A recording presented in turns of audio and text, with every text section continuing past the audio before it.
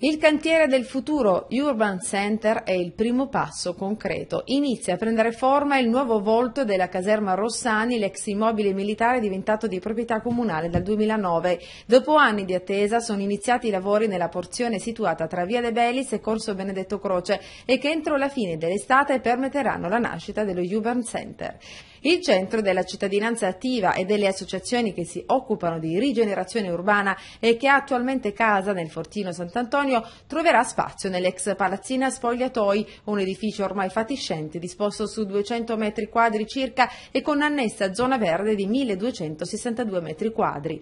Alla posa virtuale della prima pietra ha partecipato il sindaco Antonio De Caro insieme agli assessori Vincenzo Brandi, al patrimonio Carla Tedesco, all'urbanistica e Giuseppe Galasso ai lavori pubblici.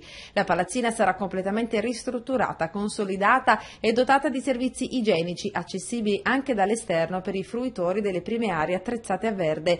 L'area esterna infatti è stata progettata in modo tale da potersi relazionare al futuro parco urbano studiato dall'architetto Massimiliano Fuxas. Oggi è una giornata storica per tutti i baresi, spiega soddisfatto De Caro, perché finalmente parte la riqualificazione di un'area di straordinaria importanza per la città. Entro fine anno sarà bandita la gara d'appalto da 10 milioni di euro messi dalla Regione Puglia per la ristrutturazione verso la parte nord di altre due palazzine, le future sedi della Teca del Mediterraneo e della Mediateca regionale.